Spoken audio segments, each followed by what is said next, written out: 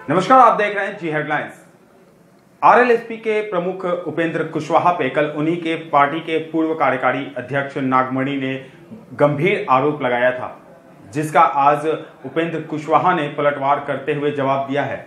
उपेंद्र कुशवाहा ने press conference करके उन सभी बातों का खंडन किया है, जो कि नागमणि की तरफ़ से उपेंद्र कुशवाहा पे आरोप लगाया गया था। आप भी सुने उपेंद्र कुशवाहा के इस बयान को। कुछ लोगों ने मेरे ऊपर कुछ गंभीर आरोप लगाए हैं।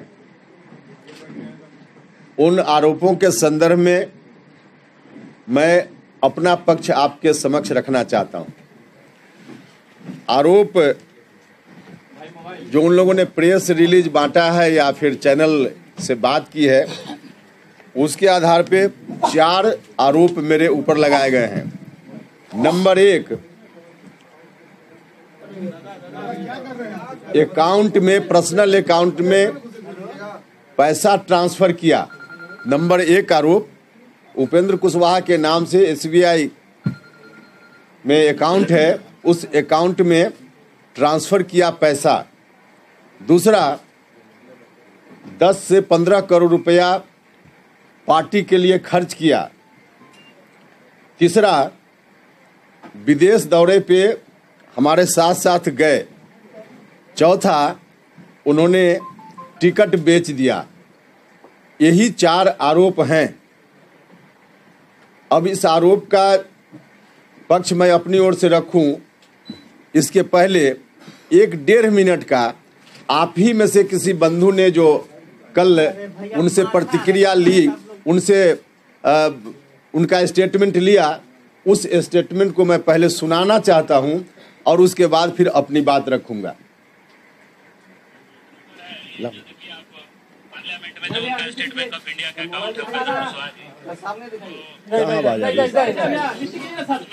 अरे आवाज़ आनी चाहिए।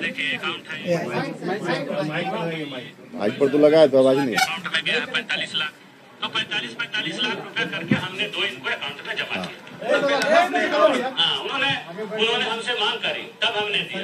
क्यों मांग करी? आखिर आपने क्यों उन्होंने बोले कि प्रदीप जी थोड़ा हमें ज़रूरत है आपकी मदद की मदद चाहिए। तो हमने दिया।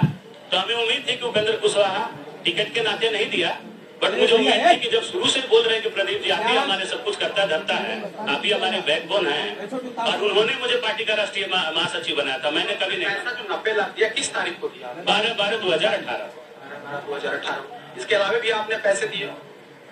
उसके अलावा भी बहुत सारी बहुत सारी बहुत सारी जरूरतों पे उनको मदद किया हमने। दिल्ली में एनसीआर हिंदुस्तान में आपने आरोप लगाया कि 10 से 15 करोड़ रुपए अब तक हमने उपेंद्र कुशवाहा उनकी पूरी पार्टी में चलाता था। पार्टी चलाने में आपको पता है कितना खर्च होता है। रैलियाँ होती है प्रदेश सम्मेलन दो दो दो जिला सम्मेलन दो दो इनका गांधी मैदान में रैली हुई है। उसमें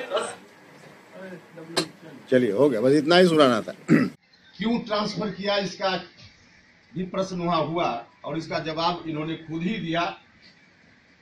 संभवतः आप सब लोगों तक आवाज़ पहुँची होगी। उसी को हम दोहरा देते हैं। इन्होंने कहा, मैं अपनी ओर से कुछ नहीं कह रहा हूँ, इन्होंने खुद ही कहा कि टिकट के लिए पैसा नहीं दिया।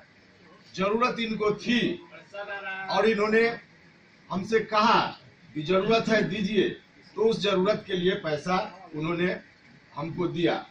अब किसी व्यक्ति से कोई व्यक्ति पैसा मांग सकता है, ज़रूरत पड़ने पे ज़रूरत पड़ने पे अगर कोई व्यक्ति पैसा दे भी रहा है तो क्या ऐसा करना कहीं से अपराध की श्रेणी में आता है?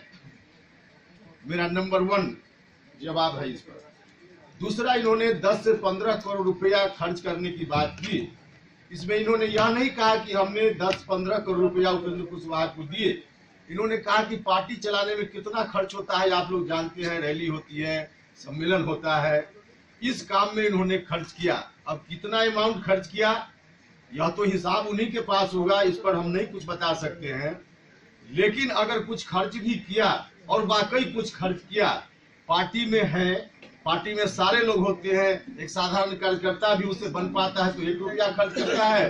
अगर किसी के पास पैसा है तो ज़्यादा खर्च करता है। तो इन्होंने कहा खुद की हमने सम्मेलनों में खर्च किया, रैली के आयोजन में खर्च किया पार्टी के कार्यक्रमों में खर्च किया। तो भैया पार्टी के कार्यक्रमों में आप पार्टी से जुड़े हुए हैं। हमने कोई रिवॉल्वर दिखाकर आपसे पार्टी के लिए खर्चा नहीं करवाया। हमने ज़बरदस्ती कोई डांट फटकार करके पार्टी के लिए आप पर्सनल अकाउंट में पैसा नहीं लिया। हमने कोई लोभ लालच दे करके नहीं दिया। आपने खुद ही कहा कि हमने टिकट के लिए नहीं दिया। हमने ज़रूरत पर मदद की। आपने खुद ही कहा कि पार्टी के कार्यक्रमों में हमने खर्च किया। अब दोनों बात कहाँ से भ्रष्टाचार की श्रेणी में आती है, कहाँ से अपराध बनता है, आप खुद ही इसको जज कीजिए। तीसरी बात इन्होंने कही है कि विदेश दौरा इनके साथ किया हमने कराया। भैया उपेंद्र कुशवाहा तो उस समय भी कहा था जिसमें विदेश दौरा की बात पर और आई थी। उपेंद्र कुशवाहा सक्षम नहीं है व्यक्तिगत रूप से कि इतना पैसा खर्च करके विदेश जाए। और आप ही में से कोई मित्र अगर कह दे कि हम चल रहे हैं, विदेश टिकट कटा कटा दे रहे चलिए। तो गए हम, इसमें कहा कोई अपराध हो गया? कोई साथी कह रहा है कि हम चल रहे हैं विदेश, आपको भी घुमा देंगे। हम गए तो यह बात कहीं से अपराध की श्रेणी में आ गया? हम तो डंके की चोट पर कहते हैं कि विदेश गए। और विदेश गए तो इसमें भी बताए आदमी कि हमको ज़बरदस्ती ले गए विदेश, हमको डांट कर ले गए, हमको रिवॉल्वर दिखा कर ले गए। भैया, आपने कहा, और मैं खुद सक्षम नहीं था, आज भी नहीं सक्षम हूँ। तो कोई साथी अगर जिसके पास पैसा है, कह रहा है कि चलिए विदेश तो उसमें क्या इतराज था? हम तो गए हैं। और इसमें कोई अपराध की बात नहीं है।